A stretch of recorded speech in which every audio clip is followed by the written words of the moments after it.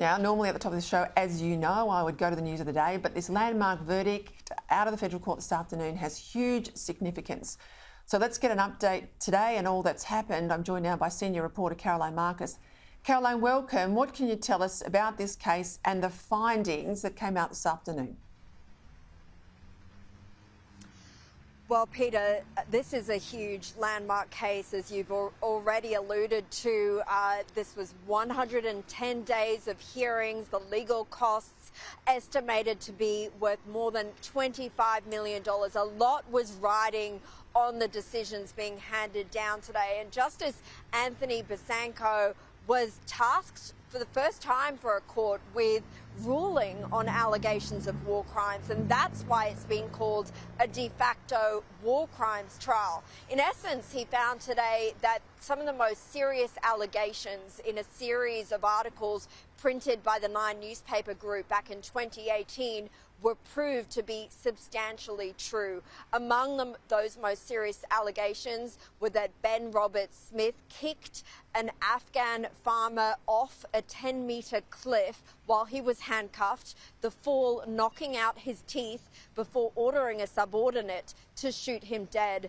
Uh, he also found substantially proved allegations that he'd shot an unarmed Afghan man in a Taliban compound in 2009. The man had a prosthetic leg, and uh, the allegation was that Mr. Roberts-Smith then encouraged his soldiers to use that leg as a beer drinking vessel. But there were some allegations which were found not to have been proved, and that included allegations that he'd abused his mistress, a person known as Person 17.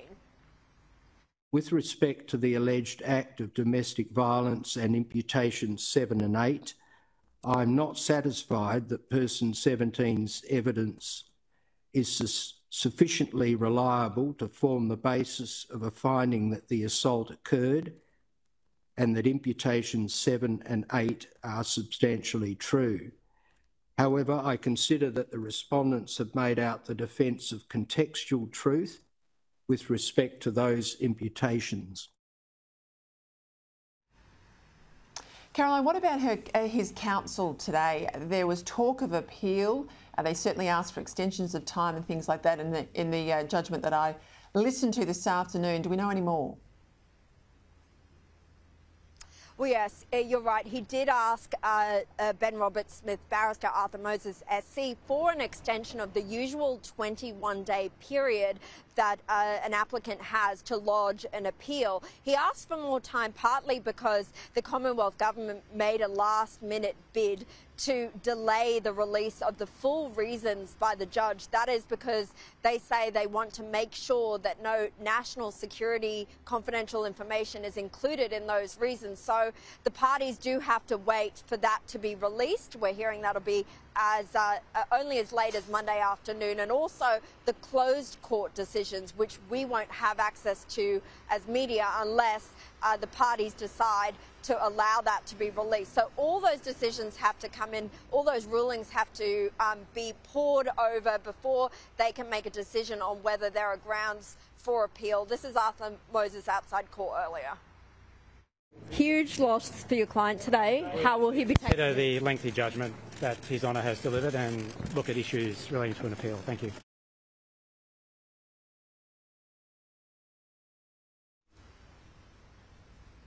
We haven't heard from Ben Roberts-Smith directly on today's huge decision. He wasn't at court in person to learn the judgment himself. He was pictured, however, yesterday by a hotel poolside in Bali, sunning himself.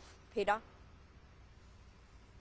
What about the journalists? Any reaction from them out of the court today? Well, you can imagine they might be feeling ecstatic, but the, the overwhelming sentiment seemed to be one of just huge relief after this long and costly court process. They were facing what could have been the country's biggest defamation payout if they lost today.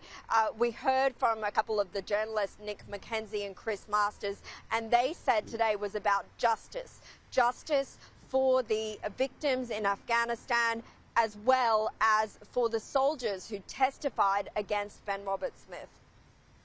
Today is a day of justice. It's a day of justice for those brave men of the SAS who stood up and told the truth about who Ben Roberts-Smith is a war criminal, a bully, and a liar. Today is a day of some small justice for the Afghan victims of Ben Roberts-Smith.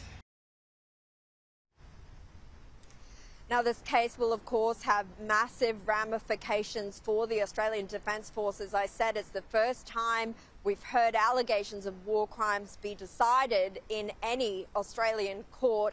It will also be, uh, there could also be, pending the appeal, a massive financial bill for Mr. Roberts-Smith. His legal case was partly funded by the head of Channel 7, billionaire Kerry Stokes, who has also released a statement today saying that this does not accord with the man he knows. Caroline, thank you.